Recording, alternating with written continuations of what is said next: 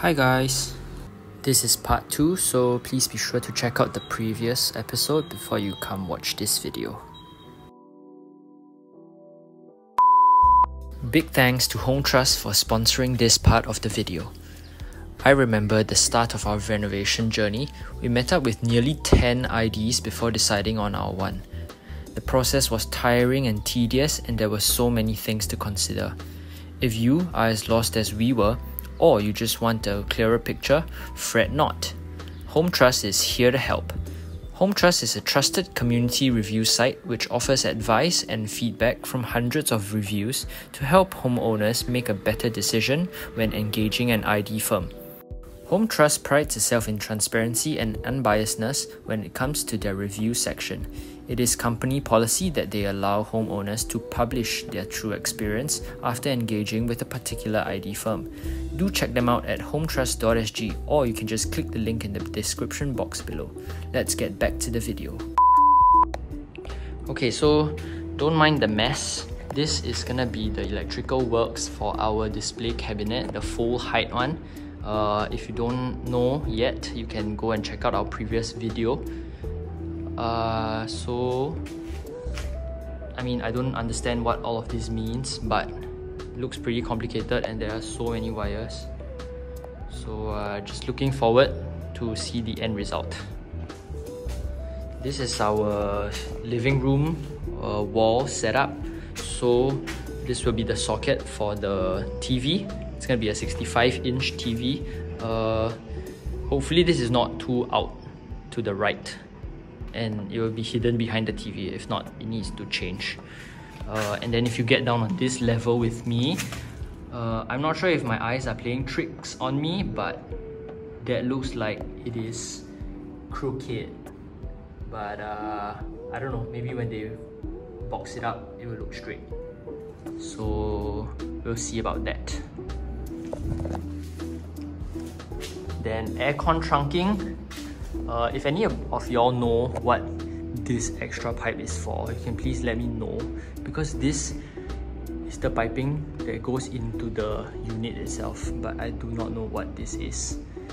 So anyway, all the white boxes that you see, all the trunking, uh, our ID said that she's gonna be uh, covering all of them up with like false ceiling kind of material so it will look like uh, it's a beam or a wall so that goes for all of the trunking uh, all the way into the master as well. So all of this will be boxed up. Hopefully it doesn't look too claustrophobic. Yeah. So this unit in the living room will be a 24k unit. So it will actually extend out into the wall around about here. Yeah so all the way the whole thing will be the the the aircon unit. And then no change for the common room. The aircon will be as planned which is here over the doorway. And then for our master we originally wanted our aircon unit to be here but the aircon guy said it was not possible because he had to run all these pipings here and then this hole will feed uh, the tubes out to the outer rooms so he said to leave the aircon unit here and uh, I mean we had not much choices so we just went with what he suggested and uh, I'm gonna be in for some really cold nights because I will be sleeping on this side of the room. Okay, common bathroom. The shower curb is up here and here. So our ID asked if we wanted to cut it here, but then we decided to just maximize the space and just have a little chamfered uh, edge right here so we don't stub our toes or at least if you stub your toes it wouldn't hurt that bad. And then uh, that's about it. We're keeping this unchanged. We have not done the lights yet so that'll be coming up in the next few episodes.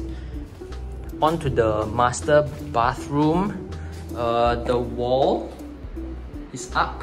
The niche is also uh, in progress. And uh, yeah looking forward to see how it will look like when the glass doors or the glass panels are installed. And also our fluted glass door is installed